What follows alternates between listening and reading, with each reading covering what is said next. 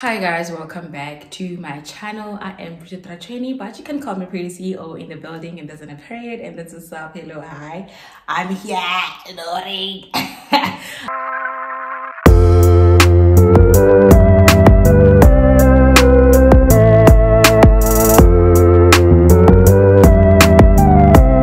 in today's video, I'm going to show you how to deregister a business on CIPC.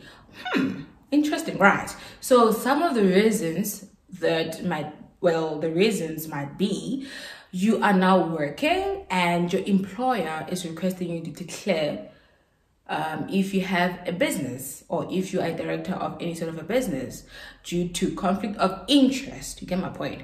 So number one you might you want to deregister because of that. Number two the reason maybe like the second reason for you to deregister business might be because of you are like your business is not operating or it's not operational. So you end up owing SARS and CIPC due to the fact that you are not um, filing your annual return. So in this video, I'm going to show you how to register a business. Like you voluntarily the registering it, not CIPC saying it's in the, the registration process due to not filing your annual returns. You get my point? So let's get straight into it. I hope you enjoy.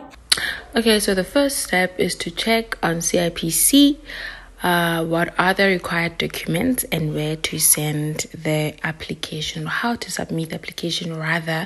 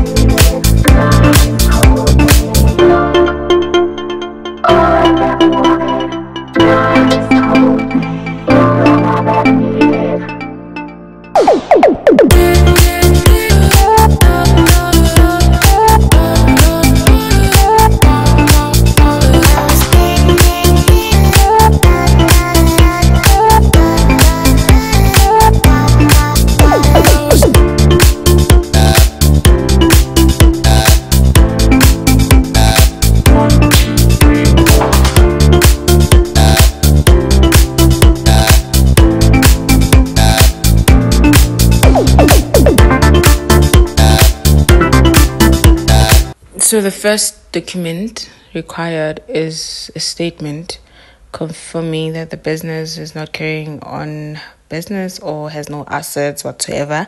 The second document is your tax clearance from SARS, um, confirming that um, no tax liabilities are outstanding. Number three is a so basically the letter, the first statement, the letter must be um, signed by the person who is requesting or by all the directors of the business. And the last part is the certified copy of any person signing the letter you get. So that's all. And let's just do it.